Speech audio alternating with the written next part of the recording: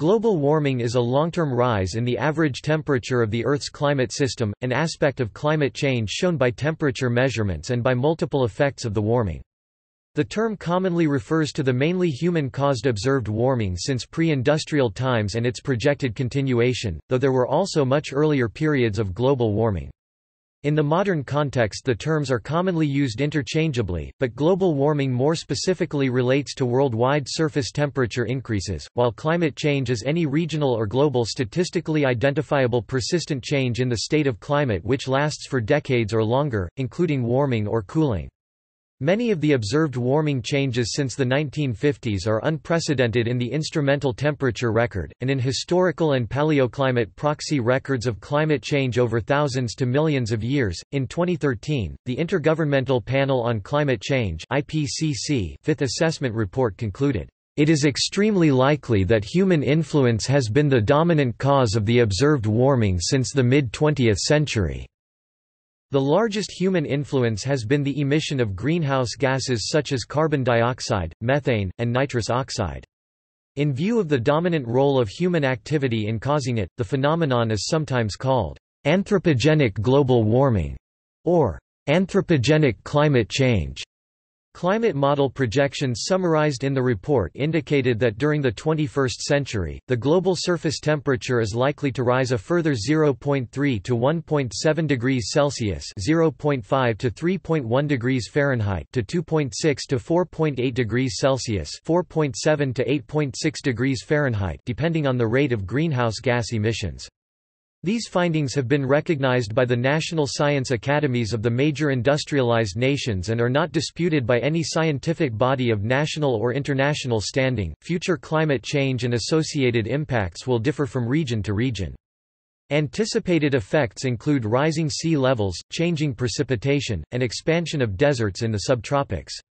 Warming is expected to be greater over land than over the oceans and greatest in the Arctic, with the continuing retreat of glaciers, permafrost, and sea ice. Other likely changes include more frequent extreme weather events such as heat waves, droughts, wildfires, heavy rainfall with floods, and heavy snowfall, ocean acidification, and species extinctions due to shifting temperature regimes. Effects significant to humans include the threat to food security from decreasing crop yields and the abandonment of populated areas due to rising sea levels. Because the climate system has a large inertia and greenhouse gases will remain in the atmosphere for a long time. Many of these effects will persist for not only decades or centuries, but tens of thousands of years. Possible societal responses to global warming include mitigation by emissions reduction, adaptation to its effects, building systems resilient to its effects, and possible future climate engineering. Most countries are parties to the United Nations Framework Convention on Climate Change UNFCCC, whose ultimate objective is to prevent dangerous anthropogenic climate change. Parties to the UNFCCC have agreed that deep cuts in emissions are required and that global warming should be limited to well below 2.0 degrees Celsius (3.6 degrees Fahrenheit) compared to pre-industrial levels, with efforts made to limit warming to 1.5 degrees Celsius (2.7 degrees Fahrenheit). Some scientists call into question climate adaptation feasibility, with higher emission scenarios, or the 2 degree temperature target. Public reactions to global warming and concern about its effects are also increasing. A global 2015 Pew Research Center report showed that a median of 54% of all respondents asked consider it a very serious problem. Significant regional differences exist, with Americans and Chinese whose economies are responsible for the greatest annual CO2 emissions among the least concerned. Observed temperature changes Multiple independently produced datasets confirm that from 1880 to 2012 the global average land and ocean surface temperature increased by 0.85 0.65 to 1.06 degrees C. From 1906 to 2005, Earth's average surface temperature rose by 0.74 plus or minus 0.18 degrees Celsius. The rate of warming almost doubled in the last half of that period 0.13 plus or minus 0.03 degrees Celsius per decade, against 0.07 plus or minus 0.02 degrees Celsius per decade. Although the popular press often reports the increase of the average near-surface atmospheric temperature as the measure of global warming, most of the additional energy stored in the climate system since 1970 has accumulated in the oceans. The rest has melted ice and warmed the continents and the atmosphere. Since 1979, the average temperature of the lower troposphere has increased between 0.12 and 0.135 degrees Celsius (0.216 and 0.243 degrees Fahrenheit) per decade. Satellite temperature measurements confirm. Climate proxies show the temperature to have been relatively stable over the 1 or 2000 years before 1850, with regionally varying fluctuations such as the medieval warm period and the Little Ice Age. The warming evident in the instrumental temperature record is consistent with a wide range of observations, as documented by many independent scientific groups. Examples include sea level rise, widespread melting of snow and land ice, increased heat content of the oceans, increased humidity, and the earlier timing of spring events, e.g., the flowering of plants. The probability that these changes could have occurred by chance is virtually zero. Topic: Regional trends and short-term fluctuations Global warming refers to global averages. It is not uniform around the world, effects can vary by region. Since 1979, global average land temperatures have increased about twice as fast as global average ocean temperatures 0.25 degrees Celsius per decade against 0.13 degrees Celsius per decade. Ocean temperatures increase more slowly than land temperatures because of the larger heat capacity of the oceans and because oceans lose more heat by evaporation. Since the beginning of industrialization in the 18th century, the temperature difference between the hemispheres has increased due to melting of sea ice and snow in the north, and because there is more land in the northern hemisphere. In the past 100 years, average Arctic temperatures have increased at almost twice the rate of the rest of the world. This has been referred to as Arctic amplification. Although more greenhouse gases are emitted in the northern than in the southern hemisphere, this does not contribute to the difference in warming because the major greenhouse gases persist long enough to diffuse within and between the two hemispheres. There are different ways in which a climate can be forced to change, but because the climate system has large thermal inertia, it can take centuries, or even longer, for the climate to fully adjust. One climate commitment study concluded that if greenhouse gases were stabilized at year 2000 levels, surface temperatures would still increase by about 0.5 degrees Celsius, and another found that if they were stabilized at 2005 levels, surface warming could exceed a whole degree Celsius.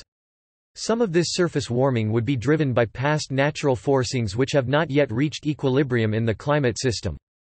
One study using a highly simplified climate model indicates these past natural forcings may account for as much as 64% of the committed 2050 surface warming, and their influence will fade with time compared to the human contribution. Global temperature is subject to short term fluctuations that overlay long term trends, and can temporarily mask or magnify them. The relative stability in surface temperature from 2002 to 2009, which has since been dubbed the global warming hiatus by the media and some scientists, may be an example of such an episode. 2015 updates to account for differing methods of ocean surface temperature measurements show a positive trend over the recent decade. Topic: Warmest years versus overall trend 16 of the 17 warmest years on record have occurred since 2000.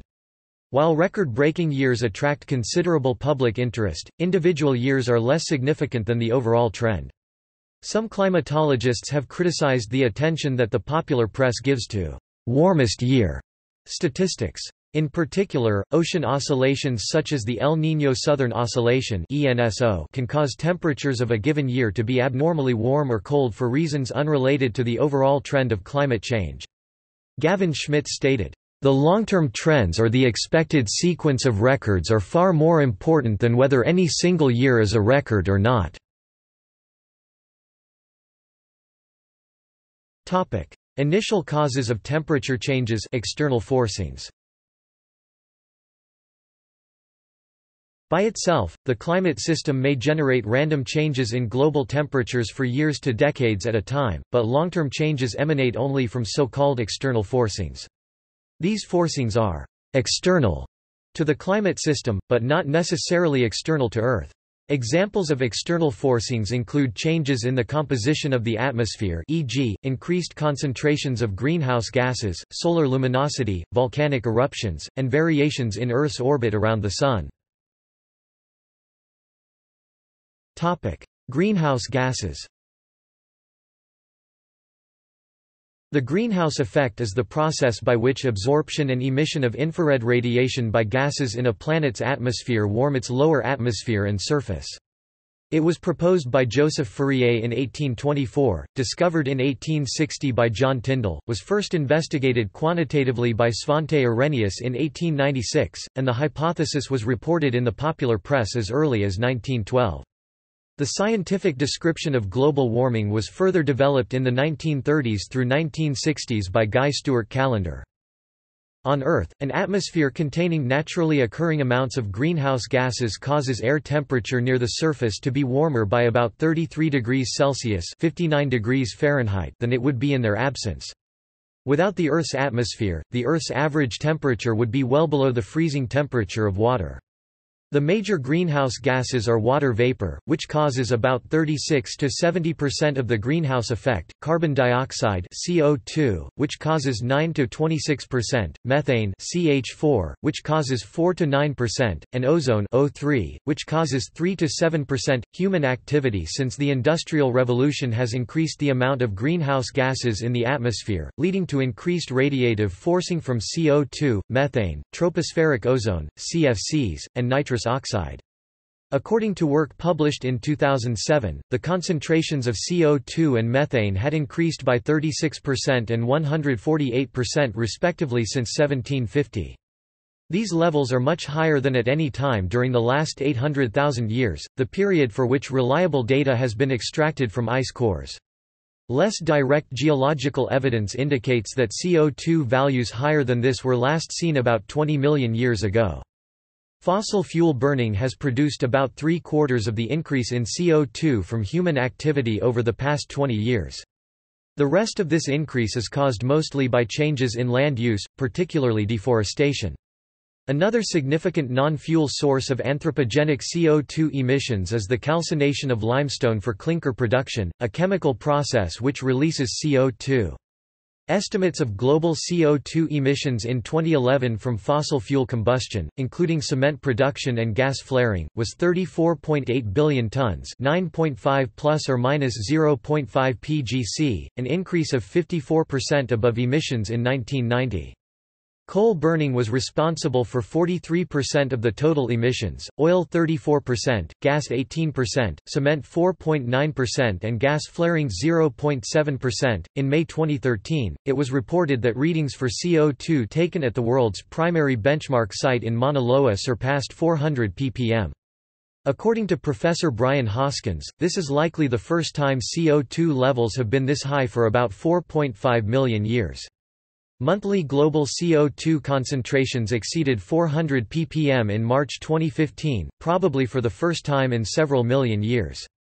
On 12 November 2015, NASA scientists reported that human-made carbon dioxide continues to increase above levels not seen in hundreds of thousands of years. Currently, about half of the carbon dioxide released from the burning of fossil fuels is not absorbed by vegetation and the oceans and remains in the atmosphere. Over the last three decades of the 20th century, gross domestic product per capita and population growth were the main drivers of increases in greenhouse gas emissions. CO2 emissions are continuing to rise due to the burning of fossil fuels and land use change. Emissions can be attributed to different regions. Attributions of emissions due to land use change are subject to considerable uncertainty. Emissions scenarios, estimates of changes in future emission levels of greenhouse gases, have been projected that depend upon uncertain economic, sociological, technological, and natural developments. In most scenarios, emissions continue to rise over the century, while in a few, emissions are reduced. Fossil fuel reserves are abundant, and will not limit carbon emissions in the 21st century. Emission scenarios, combined with modeling of the carbon cycle, have been used to produce estimates of how atmospheric concentrations of greenhouse gases might change in the future. Using the 6 IPCC SRES marker Scenarios – Models suggest that by the year 2100, the atmospheric concentration of CO2 could range between 541 and 970 ppm. Aerosols and soot Global dimming, a gradual reduction in the amount of global direct irradiance at the Earth's surface, was observed from 1961 until at least 1990. Solid and liquid particles known as aerosols, produced by volcanoes and human-made pollutants, are thought to be the main cause of this dimming. They exert a cooling effect by increasing the reflection of incoming sunlight. The effects of the products of fossil fuel combustion, CO2 and aerosols, have partially offset one another in recent decades, so that net warming has been due to the increase in non-CO2 greenhouse gases such as methane. Radiative forcing due to aerosols is temporally limited due to the processes that remove aerosols from the atmosphere. Removal by clouds and precipitation gives tropospheric aerosols an atmospheric lifetime of only about a week, while stratospheric aerosols can remain for a few years. Carbon dioxide has a lifetime of a century or more, and as such, changes in aerosols will only delay climate changes due to carbon dioxide. Black carbon is second only to carbon dioxide for its contribution to global warming contribution being estimated at 17 to 20%, whereas carbon dioxide contributes 40 to 45% to global warming. In addition to their direct effect by scattering and absorbing solar radiation, aerosols have indirect effects on the Earth's radiation budget. Sulfate aerosols act as cloud condensation nuclei and thus lead to clouds that have more and smaller cloud droplets. These clouds reflect solar radiation more efficiently than clouds with fewer and larger droplets, a phenomenon known as the Twomey effect. This effect also causes droplets to be of more uniform size, which reduces growth of raindrops and makes the cloud more reflective to incoming sunlight, known as the Albrecht effect. Indirect effects are most noticeable in marine stratiform clouds, and have very little radiative effect on convective clouds. Indirect effects of aerosols represent the largest uncertainty in radiative forcing. Soot may either cool or warm Earth's climate system, depending on whether it is airborne or deposited. Atmospheric soot directly absorbs solar radiation, which heats the atmosphere and cools the surface. In isolated areas with high soot production, such as rural India, as much as 50% of surface warming due to greenhouse gases may be masked by atmospheric brown clouds. When deposited, especially on glaciers or on ice in Arctic regions, the lower surface albedo can also directly heat the surface.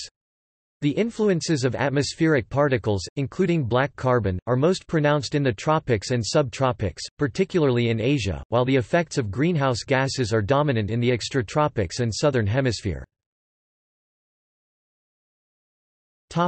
Solar activity Since 1978, solar irradiance has been measured by satellites. Climate models have been used to examine the role of the Sun in recent climate change.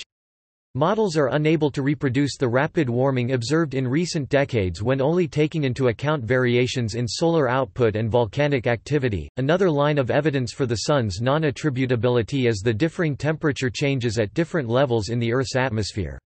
According to basic physical principles, the greenhouse effect produces warming of the lower atmosphere the troposphere, but cooling of the upper atmosphere the stratosphere. If solar variations were responsible for the observed warming, warming of both the troposphere and the stratosphere would be expected. Topic: Variations in Earth's orbit The tilt of the Earth's axis and the shape of its orbit around the Sun vary slowly over tens of thousands of years. This changes climate by changing the seasonal and latitudinal distribution of incoming solar energy at Earth's surface. During the last few thousand years, this phenomenon contributed to a slow cooling trend at high latitudes of the northern hemisphere during summer, a trend that was reversed by greenhouse gas-induced warming during the 20th century. Orbital cycles favorable for glaciation are not expected within the next 50,000 years. Climate change feedback A range of feedbacks govern the response of the system to changes in forcings.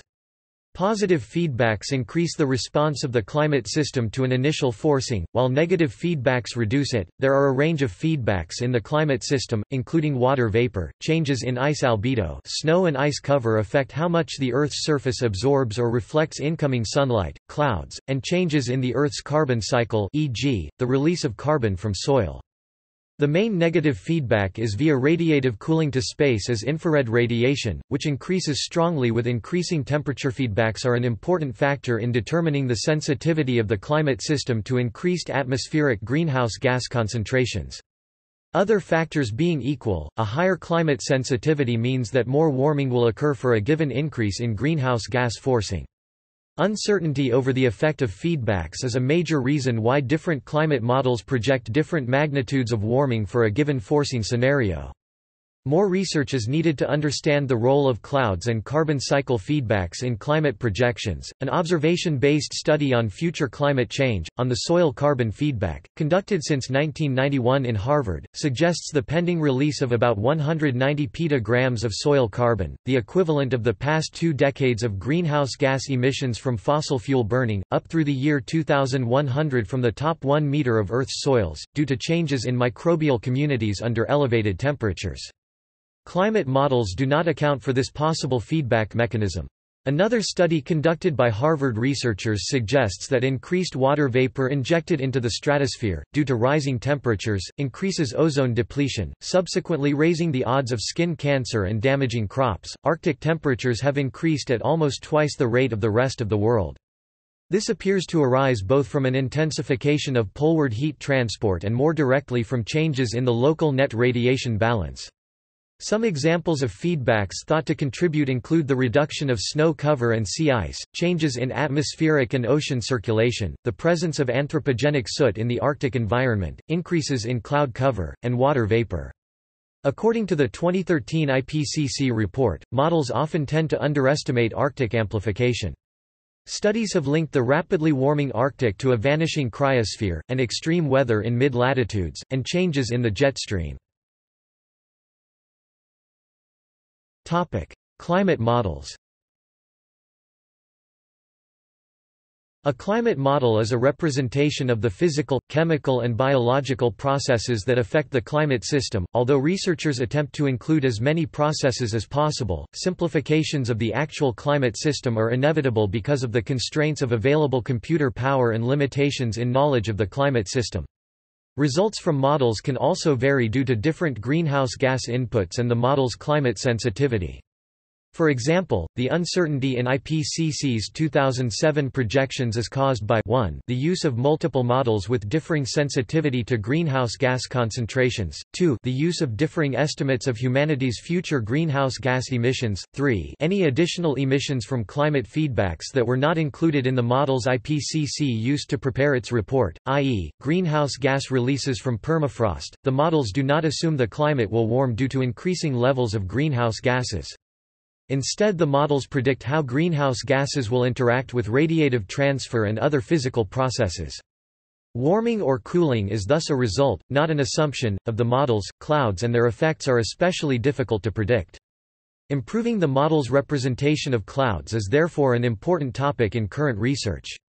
Another prominent research topic is expanding and improving representations of the carbon cycle. Models are also used to help investigate the causes of recent climate change by comparing the observed changes to those that the models project from various natural and human causes. Although these models do not unambiguously attribute the warming that occurred from approximately 1910 to 1945 to either natural variation or human effects, they do indicate that the warming since 1970 is dominated by anthropogenic greenhouse gas emissions. The physical realism of models is tested by examining their ability to simulate contemporary or past climates. Climate models produce a good match to observations of global temperature changes over the last century, but do not simulate all aspects of climate. Not all effects of global warming are accurately predicted by the climate models used by the IPCC. Observed Arctic shrinkage has been faster than that predicted. Precipitation increased proportionally to atmospheric humidity, and hence significantly faster than global climate models predict. Since 1990, sea level has also risen considerably faster than models predicted it would. The 2017 United States published National Climate Assessment, notes that, "...climate models may still be underestimating or missing relevant feedback processes." Topic: Effects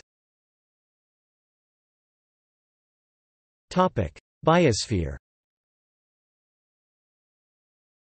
Overall, it is expected that climate change will result in the extinction of many species and reduce diversity of ecosystems. Rising temperatures have been found to push bees to their physiological limits, and could cause the extinction of bee populations. A 2012 study concluded that continued ocean uptake of CO2 affects the brains and central nervous system of certain fish species and this impacts their ability to hear, smell, and evade predators.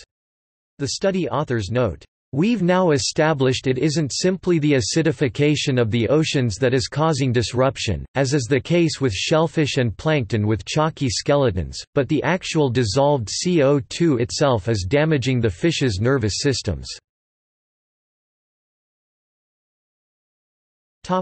environmental The environmental effects of global warming are broad and far-reaching. They include the following diverse effects Arctic sea ice decline, sea level rise, retreat of glaciers. Global warming has led to decades of shrinking and thinning in a warm climate that has put the Arctic sea ice in a precarious position. It is now vulnerable to atmospheric anomalies. Projections of declines in Arctic sea ice vary. Recent projections suggest that Arctic summers could be ice-free defined as ice extent less than 1 million square km as early as 2025 to 2030. The sea level rise since 1993 has been estimated to have been on average 2.6 mm and 2.9 mm per year plus or minus 0.4 mm.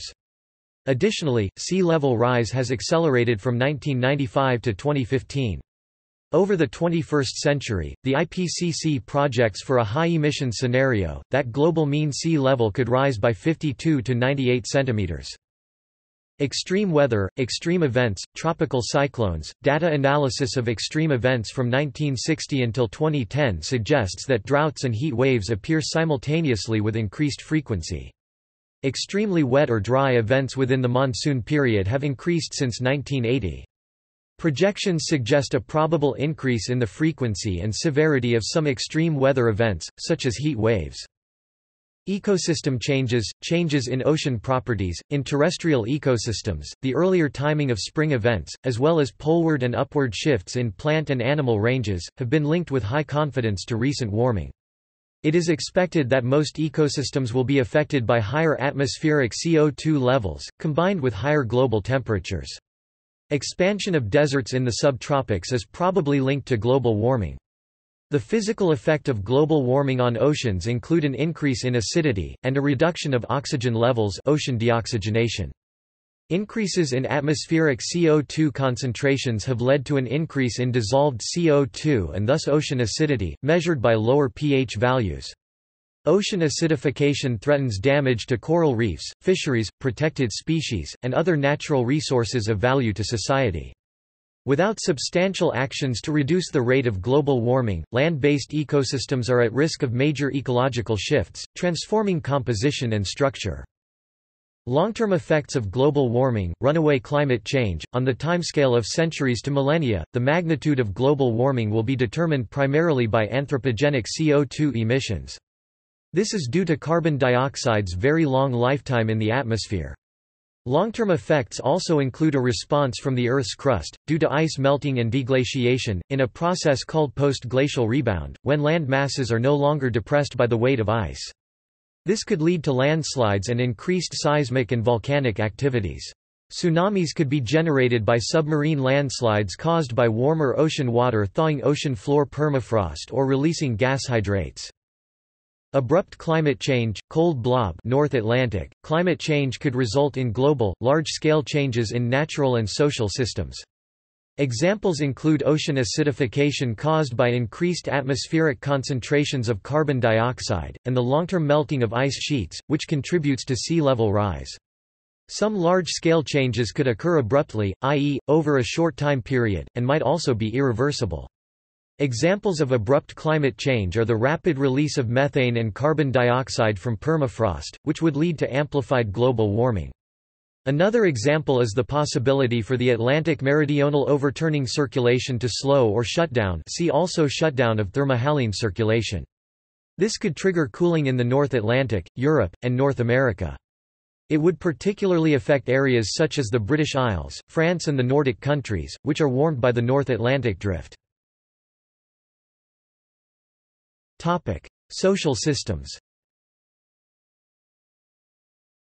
The effects of climate change on human systems, mostly due to warming or shifts in precipitation patterns, or both, have been detected worldwide. The future social impacts of climate change will be uneven across the world. Many risks are expected to increase with higher magnitudes of global warming. All regions are at risk of experiencing negative impacts. Low-latitude, less developed areas face the greatest risk.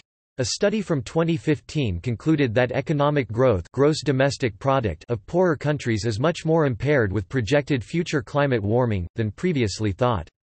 In small islands and megadeltas, inundation as a result of sea level rise is expected to threaten vital infrastructure and human settlements.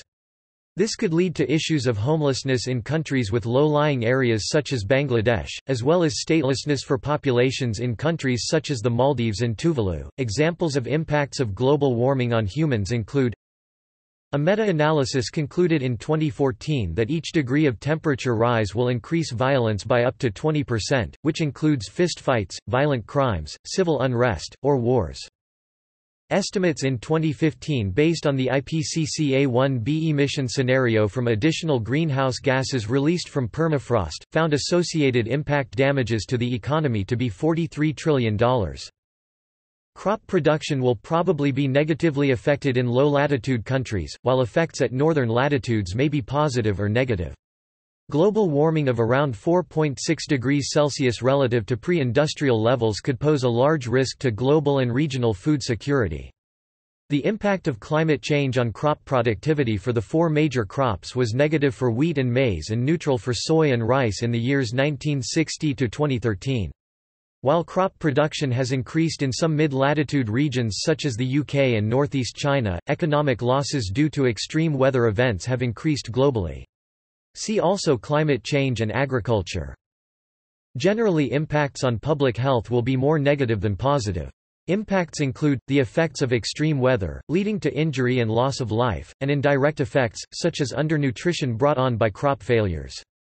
There has been a shift from cold to heat-related mortality in some regions as a result of warming. A 2018 study of data from the U.S. Centers for Disease Control and Prevention connected temperature rise to increased numbers of suicides. The study revealed that hotter days could increase suicide rates and could cause approximately 26,000 more suicides in the U.S. by 2050. Livelihoods of indigenous peoples of the Arctic have been altered by climate change, and there is emerging evidence of climate change impacts on livelihoods of indigenous peoples in other regions. Regional impacts of climate change are now observable at more locations than before, on all continents and across ocean regions. Regional The Arctic, Africa, small islands and Asian megadeltas are regions that are likely to be especially affected by future climate change. Africa is one of the most vulnerable continents to climate variability and change because of multiple existing stresses and low adaptive capacity. Existing stresses include poverty, political conflicts, and ecosystem degradation. By 2050, between 350 million and 600 million people are projected to experience increased water stress due to climate change see climate change in Africa. Climate variability and change is projected to severely compromise agricultural production, including access to food, across Africa. Research projects that regions even may become uninhabitable, due to a high wet bulb temperature. Responses Mitigation Mitigation of climate change are actions to reduce greenhouse gas emissions, or enhance the capacity of carbon sinks to absorb greenhouse gases from the atmosphere. There is a large potential for future reductions in emissions by a combination of activities, including energy conservation and increased energy efficiency, the use of low-carbon energy technologies, such as renewable energy, nuclear energy, and carbon capture and storage, and enhancing carbon sinks through, for example, reforestation and preventing deforestation. A 2015 report by Citibank concluded that transitioning to a low carbon economy would yield positive return on investments. Near and long term trends in the global energy system are inconsistent with limiting global warming at below 1.5 or 2 degrees Celsius, relative to pre industrial levels. Pledges made as part of the Cancun agreements are broadly consistent with having a likely chance 66 to 100% probability of limiting global warming in the 21st century at below 3 degrees Celsius, relative to pre-industrial levels, in limiting warming at below 2 degrees Celsius. More stringent emission reductions in the near term would allow for less rapid reductions after 2030. Many integrated models are unable to meet the 2 degrees Celsius target if pessimistic assumptions are made about the availability of mitigation technologies. Adaptation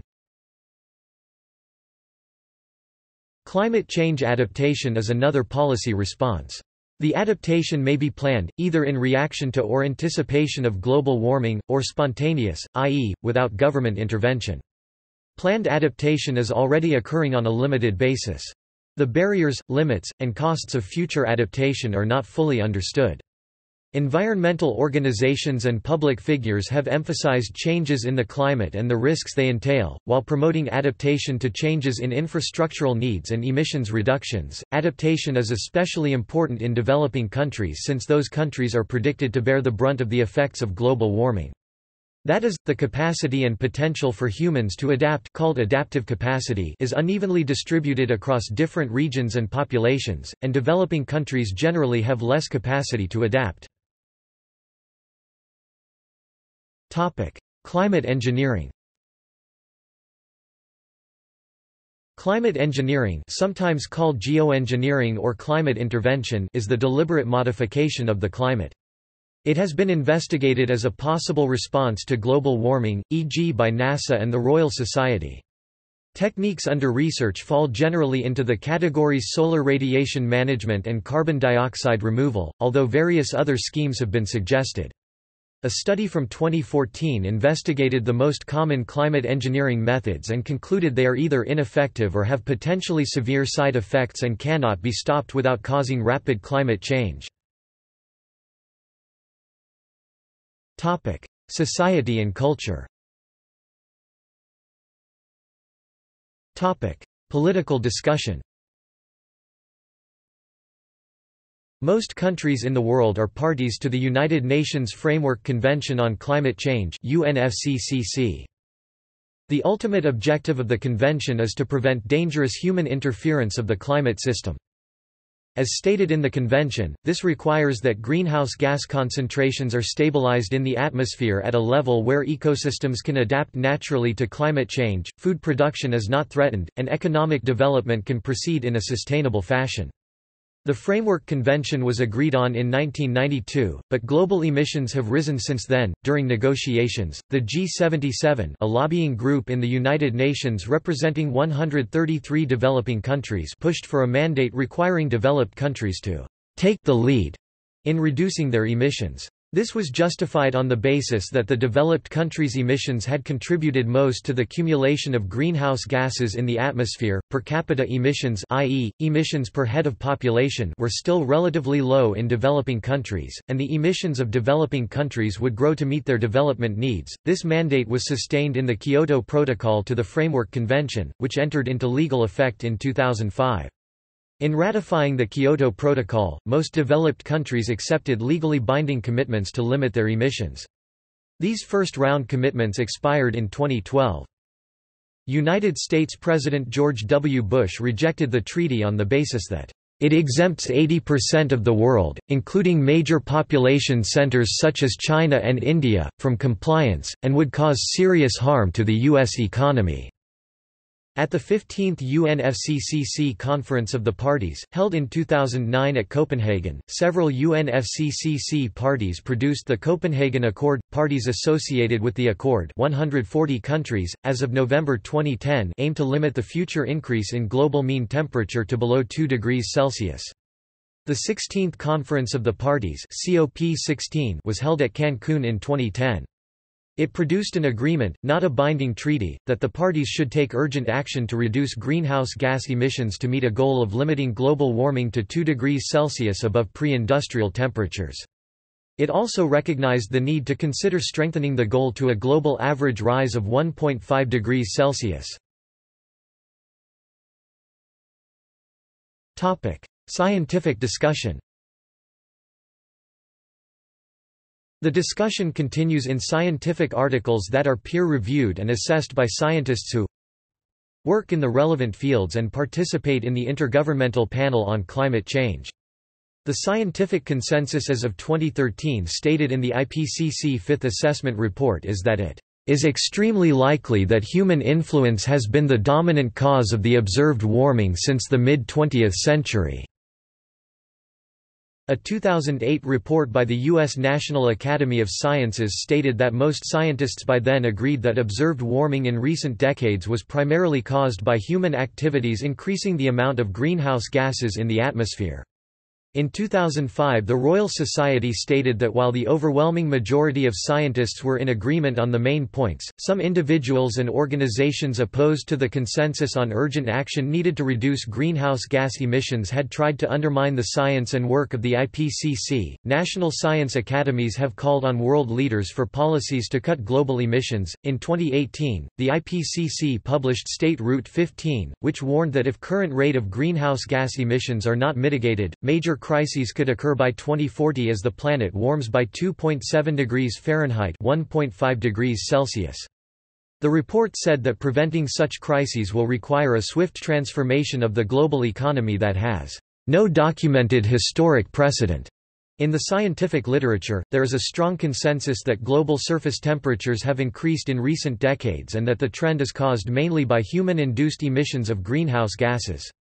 No scientific body of national or international standing disagrees with this view. In November 2017, a second warning to humanity signed by 15,364 scientists from 184 countries stated that the current trajectory of potentially catastrophic climate change due to rising greenhouse gases from burning fossil fuels, deforestation, and agricultural production, particularly from farming ruminants for meat consumption, is especially troubling. A July 2017 study published in Environmental Research Letters asserts that the most significant action individuals could make to mitigate their own carbon footprint is to have fewer children, followed by living vehicle-free, foregoing air travel and adopting a plant-based diet. Public opinion and disputes The global warming controversy refers to a variety of disputes, substantially more pronounced in the popular media than in the scientific literature, regarding the nature, causes, and consequences of global warming. The disputed issues include the causes of increased global average air temperature, especially since the mid-20th century, whether this warming trend is unprecedented or within normal climatic variations, whether humankind has contributed significantly to it, and whether the increase is completely or partially an artifact of poor measurements.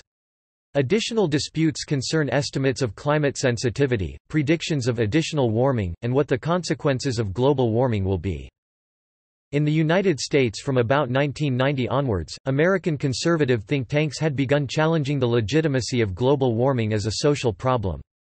They challenged the scientific evidence, argued that global warming would have benefits, and asserted that proposed solutions would do more harm than good. Some people dispute aspects of climate change science.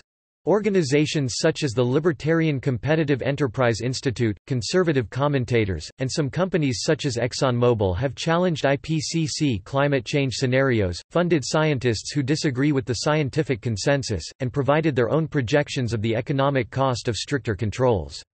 On the other hand, some fossil fuel companies have scaled back their efforts in recent years, or even called for policies to reduce global warming.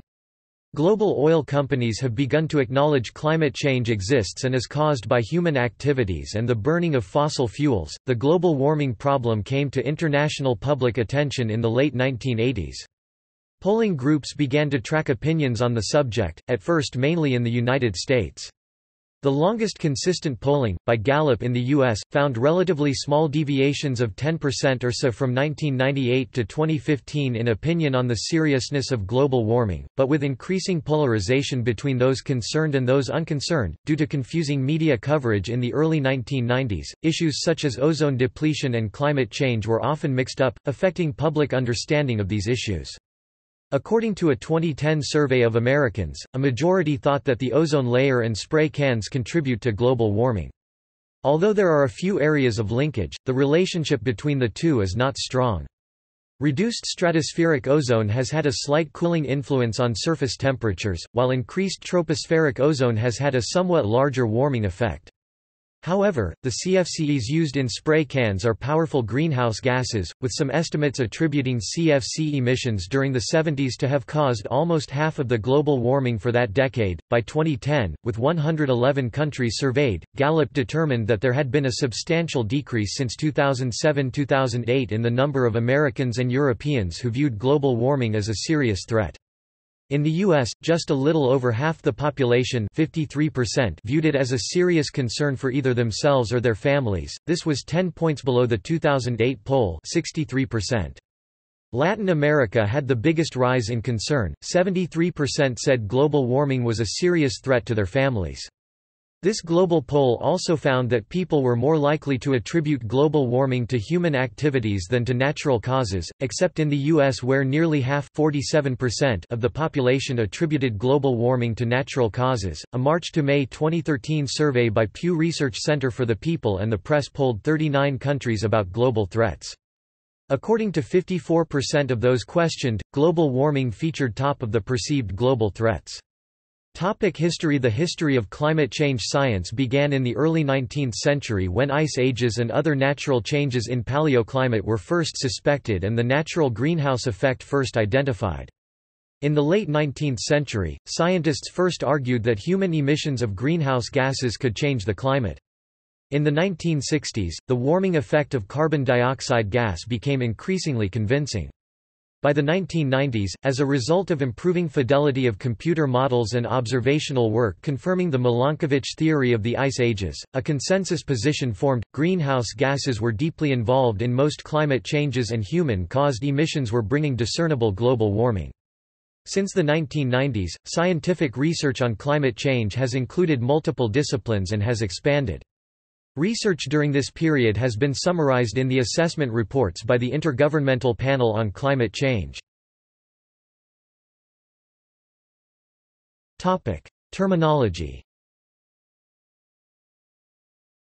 In the 1950s, research suggested increasing temperatures, and a 1952 newspaper reported, "...climate change", this phrase next appeared in a November 1957 report in the Hammond Times which described Roger Revelle's research into the effects of increasing human-caused CO2 emissions on the greenhouse effect. A large-scale global warming, with radical climate changes may result.